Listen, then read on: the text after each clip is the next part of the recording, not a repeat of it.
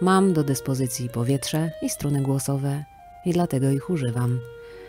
Dużo gadam, mam do dyspozycji ciało, ten instrument w gruncie rzeczy odlotowy. My ludzie chyba możemy traktować ciało jako instrument i to nie tylko muzyczny, choć ładnie brzmi. Rytm serca, przepływ krwi, szum w uszach, różne takie brzmienia, strzelanie kostek w dłoniach albo kolana przy jakiejś zaskakującej pozie ciało. ciało. Możemy też traktować jako scenografię do różnych treści. Tak jak w rozmowie jest mowa ciała, tak samo bez rozmowy mowa ciała i tak istnieje. Ciało w gestach jest nieustannych, wiele mówiących. Nawet jak śpimy, to śpimy w jakiejś pozycji, ona też coś o nas mówi.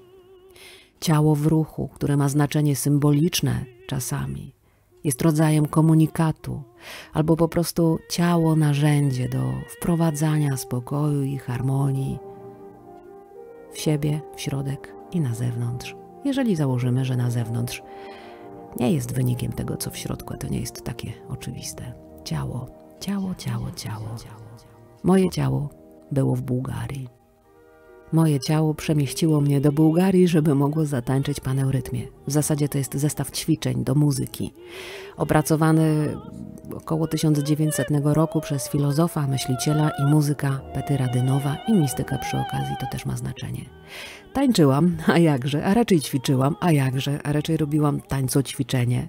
Wprawdzie za krótko, żeby poczuć takie totalne zharmonizowanie, ale wystarczająco, żeby poczuć się dobrze, lekko i swobodnie w tym ruchu. Ale to, na co chcę zwrócić uwagę, to fakt, że XIX-wieczni filozofowie, teozofowie naprawdę stawiali na ruch. Przypomnę jeszcze, że w starożytności nauczanie filozofii odbywało się w ruchu przecież. Naprawdę to nie jest przypadek i to nie jest filozoficzna fantazja. Taniec, ćwiczenie to jest taka filozoficzna konieczność. Dla przypomnienia dla ciekawskich, od 1911 roku można tańczyć, jeżeli ktoś lubi, eurytmie, tak zwany piękny ruch, takie jest tłumaczenie, bezpośrednie z greckiego. To jest antropozoficzna sztuka ruchu, której zasady, czyli techniki wykonawcze i struktury sceniczne nakreślił twórca antropozofii, czyli Rudolf Steiner. Jest jeszcze jeden teozof tamtej epoki, absolutnie przeciekawy. Bardzo lubię jego historię, jego poszukiwania i efekty tych poszukiwań. Nazywał się Juri Iwanowicz Gurdzijew. Można poczytać o nim więcej. To był człowiek z pogranicza kultur, nauk, no wszystkiego.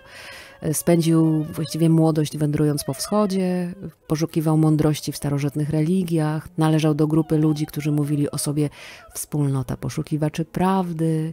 W okresie międzywojennym opracował system dosyć skomplikowanych tańców, ale uważał, że to jest zasadnicza część jego nauki i uważał, że człowiek działa poprzez trzy ośrodki: intelektualny, który myśli i planuje, emocjonalny, który odczuwa ból i przyjemność, i fizyczno-instynktowny, który jest ruchem, twórczym ruchem. W każdym człowieku dominuje jeden z tych ośrodków, i tańce mają na celu odkrycie tych ośrodków i wyrażenie całej filozofii Gurdjieffa poprzez ruch. Piękne i w gruncie rzeczy dosyć podobne do tego, co mówił Peter Dynow. Petr Dynow, bułgarski myśliciel, łączył taniec, ruch z cyklem natury. Jego paneurytmia, czy jak się mówi w Bułgarii panewrytmia, przypomina słowiańskie tańce w kręgu. Zawsze tańczy się do muzyki granej na żywo. To jest naprawdę piękny element tego tańcu ćwiczenia.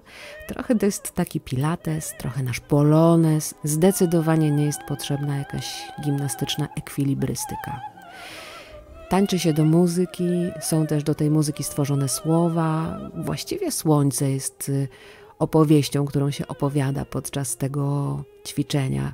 Słońce jako źródło energii i inspiracji. Peter Dynow podkreślał, że panerytmia przynosi korzyść zdrowiu tylko wtedy, kiedy tańczy się płynnie, zgodnie z wewnętrznym rytmem, zachowując właściwą kolejność figur. I naprawdę, wiem to po sobie, nie jest to skomplikowane.